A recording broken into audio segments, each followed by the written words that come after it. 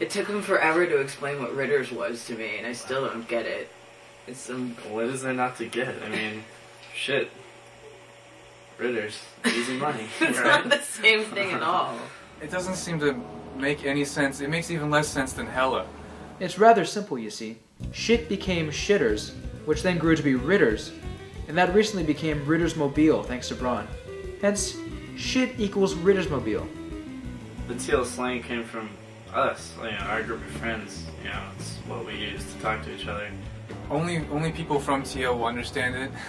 It all makes us giggle. I guess it's a lot of nonsensical words that adapted sensical meanings as opposed to the other way around, where you use regular words in like a weird context. We use weird words in a regular context. I think it's fun, man. You know, it, each group of people has to have like their own set of words that they can use amongst themselves. It's kind of like an inside joke, but everybody's in it. It just adapted and I understood what it meant, and it just became an everyday thing. Angle pun, which evolved out of looking at a uh, top of a drink cap and had a little icon of uh, an elephant farting, and so we said that was an angle pun. Crazy Pig's hell sweet. I don't, I don't even know what it means. Crazlepig and Engelprut and all these things. These are just slang words that sort of uh, came about because of really misunderstandings. And don't forget, rudders means sluts. You know, that's fun to say. It just puts a smile on your face. We've seen a lot of ritters, done a lot of rudders. The nicknames, like, um, for me, is Tindy. It's a lot of baby talk. I mean, who talks like that? Um, I guess we do.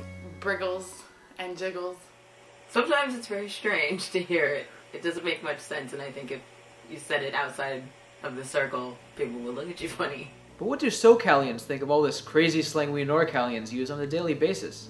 I'm actually from Denver, so First of all, I hate hella. I hear a lot of NorCal people overusing the word hella. I mean, maybe maybe the, like all this language came from because you know there's a lot of gays up in Northern California. I don't know, maybe. It makes me think of hippie granolas from Northern California. I never think hella will ever evolve into a, a SoCal thing. I mean, I hear people say hella down here, but obviously they're from the NorCal. It's safe to say they think we're hella dumb for using these expressions. But what's that, Arlene? You think NorCal slang will never catch on? Well, I think hella could be used uh, in other areas. I give it about a year or two. Be all over the U.S., baby. But things like Crazlepig and Ritters, I don't think they'll ever make it past the Bay Area. It's, I don't think it'll go that far. I think people are still going to make fun of us, especially uh, people in Southern California. Their slang would merge, would like combine with our slang, and then we'd have some type of super slang craziness. It already showed up in that song. Hella good. No doubt song. That's a hella good point. Hella has caught on in the music industry and has been showing up in more and more song titles over the past few years. As Braun and Daniel mentioned, No Doubt's song Hella Good was the first popular song to feature the term in the song title. There's even a band from Sacramento called Hella. Here's a list of some other artists that have used the term Hella in a song name. Uh, that shit's hella, hella Ritters. Yeah, Ritters. Uh, usually, Pig, definitely. yeah, I would say.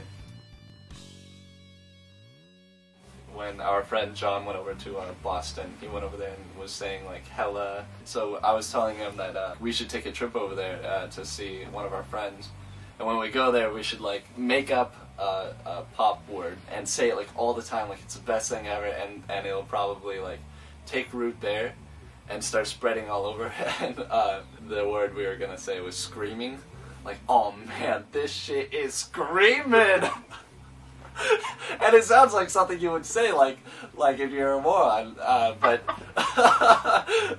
but it that's how things start. I think people are making fun of people, or making fun of themselves, and they just use some stupid ass word, like screaming. Screaming. Screaming sweet. So when screaming uh, hits the streets, just remember where it came from and deny that you ever heard it.